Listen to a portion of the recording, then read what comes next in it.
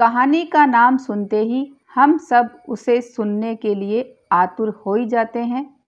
फिर चाहे हमारी वह कहानी कई बार सुनी हुई ही क्यों ना हो, कहानी ना केवल संदेश पहुँचाने का ज़रिया है, ये हमें अपनी संस्कृति व परंपराओं से भी जोड़ती है। साथ ही कहानियाँ उस भाषा को सीखने में भी मददगार साबित होती हैं।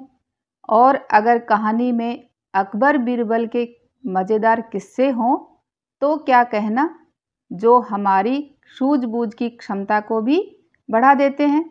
तो चलिए बच्चों, आज हम पढ़ते हैं एक कहानी जिसमें बीरबल की चतुराई से सब हैरान रह गए। हमारी आज की कहानी का नाम है असली माँ।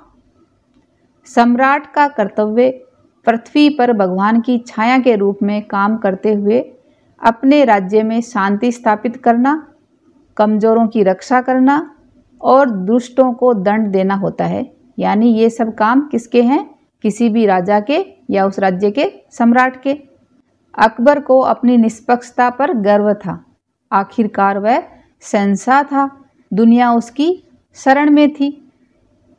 एक दिन उसकी शाही अदालत में दो औरतें एक बच्चे के साथ आई। वे दोनों फूट फूट कर रो रही थी।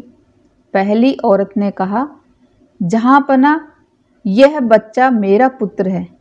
मैं बहुत बीमार थी और इसकी देखभाल नहीं कर सकती थी, इसलिए मैंने इसे अपनी सहेली के पास छोड़ दिया था। किंतु अब जब मैं ठीक हो गई हूँ तो ये मुझे मेरा पुत्र देने से इनकार कर रही है। इस पर दूसरी औरत ने चीख कर अकबर से कहा मेरे भगवान, यह झूठ बोल रही है। यह मेरा पुत्र है और मैं इसकी माँ हूँ। यह औरत इस तरह की कहानियाँ सुनाकर मेरे पुत्र को ले जाना चाहती है।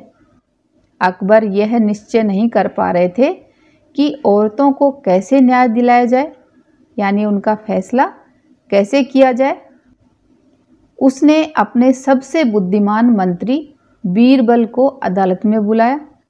बीरबल ने एक के बाद एक दोनों औरतों की बात सुनी और सिर हिलाया।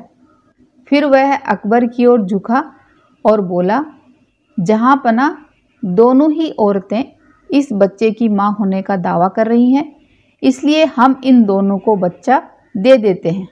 बादशाह के साथ साथ अदालत ने भी बीरबल को आश्चर्य से देखा, क्योंकि सबने यही सोचा कि बच्चा तो एक है और इसकी माँ दो हैं तो कैसे देंगे? बीरबल ने द्वारपाल से कहा, इस बच्चे को पकड़कर शाही कसाई को दे दो और उसे इसके दो भाग करने को कहो, यानी बच्चे को दो हिस्सों में काट दो।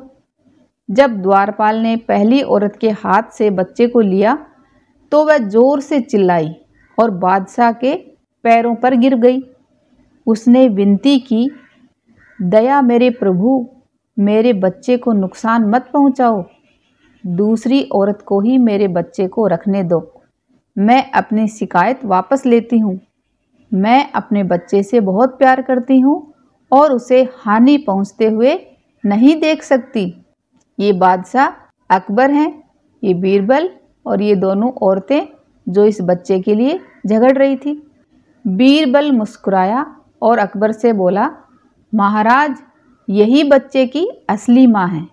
एक माँ कुछ भी सहन कर सकती है, किंतु उसके बच्चे को कोई हानि पहुँचाए, ये वह सहन नहीं कर सकती।